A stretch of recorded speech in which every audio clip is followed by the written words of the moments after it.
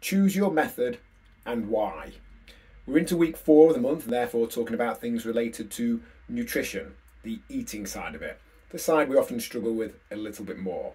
After all, exercise, whilst not always easy and potentially time consuming, is fairly straightforward. If we're not doing sessions, the answer is to do sessions. Eating is something that happens to some degree all day, every day, and has so many variables around it that it can be much harder to make lasting change. And often underpinning the reason that people struggle to make those changes is they feel that they need to do a particular method consistently all the time. They feel they need to never snack or to cut out certain food groups. And the second they feel that can't or won't happen, they feel that they've failed and that they should just essentially stop making any changes, only to start again next week, next month, etc. And if that approach works for you, awesome. If not, it's sometimes useful to have a selection of methods at our disposal to help us achieve that particular goal. And the important thing to remember is what that method needs to help occur.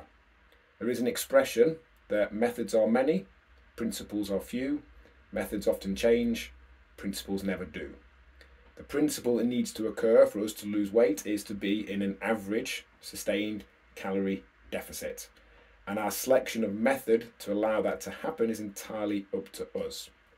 Until someone can show that in a confirmed deficit where energy in versus energy out is controlled to plus or minus 20 calories a day, which can be done, that they don't lose weight in a deficit or don't gain weight in a surplus, or their method of choice when energy matched makes any difference to the speed of that, then I'm more than happy to say we just need to pick a method that creates that deficit.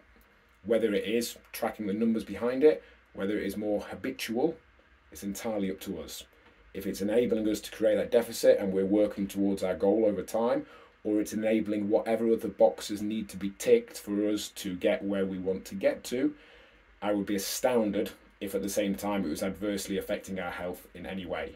If we're eating in a way that is getting us closer to a health and fitness goal, then that's awesome. Don't listen to anyone that tells you that a different method is better or should be done instead.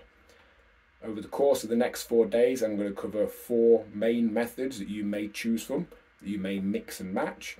But the important thing to remember, again, is that methods often change, principles never do. We need to have a method that allows us to create that principle of an average calorie deficit if weight loss is our goal, or whatever other boxes need to be ticked if we have a different goal.